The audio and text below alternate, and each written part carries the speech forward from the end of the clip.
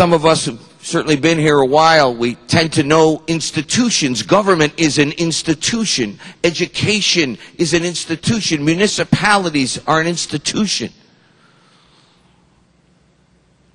Big businesses are institutions. But all of those things are made up of people. People.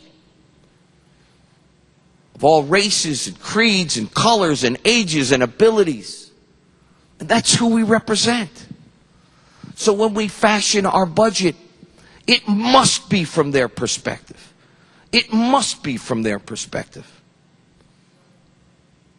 We started out this session, especially those who are brand new to this chamber, with a set of expectations.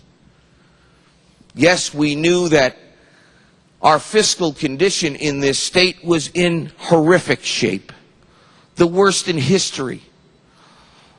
A recession that had left people homeless and jobless and savingsless, had people scared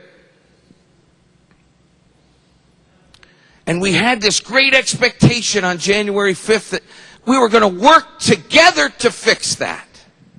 Together we were going to work. Because it didn't matter about Republican or Democrat. Our governor said it. There's no Republican ideas or Democratic ideas. There's only good ideas, he said. And there was no one clapping louder than this guy right here in this chair. Our governor said we were going to take a road less traveled.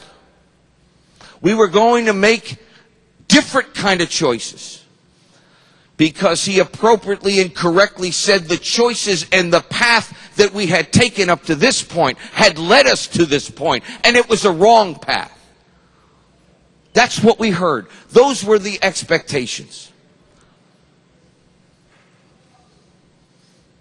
We had our governor talk to us about shared sacrifice. That these are tough times, and whether it's a family or a business, or in our case, a state, together we were going to have to make those tough choices and those sacrifices.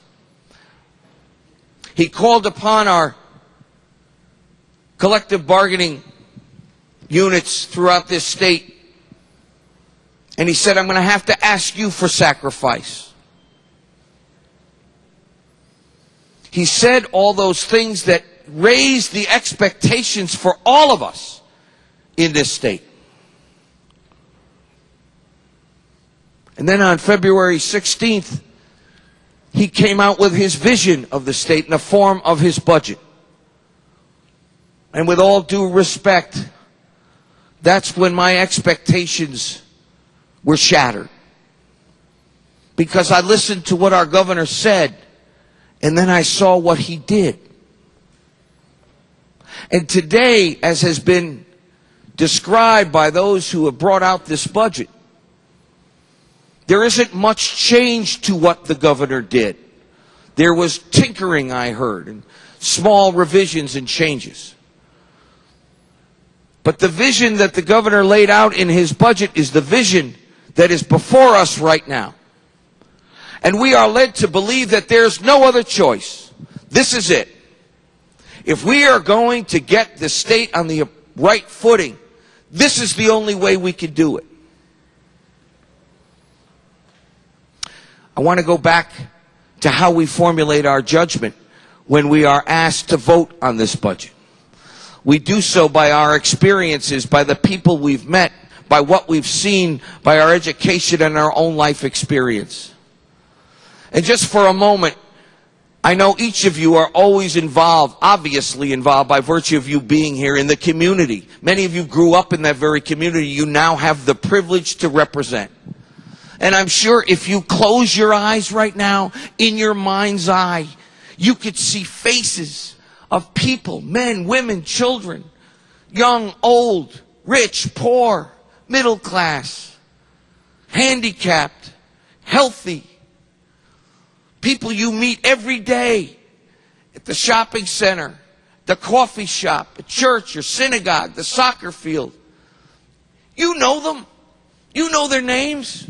You probably saw them Sunday, maybe yesterday, maybe this morning.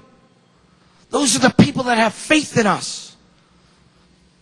And they tell us not just by their words, by, but the way they've been forced right now to live. They're hurting right now. They're really hurting. They're good, decent people. They don't ask for much from us.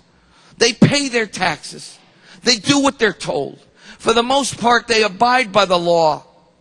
They don't ask for much. And they send us up here to advocate for them, to fight for them.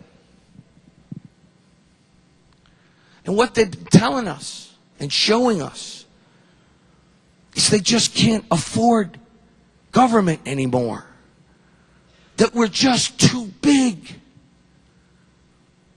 All these programs we hear, all these programs that are in the thousands of pages of this document, they're good programs. They meant well. Their history traces back maybe 30, 40, 50, 60 years. But we've added program after program, layer upon layer.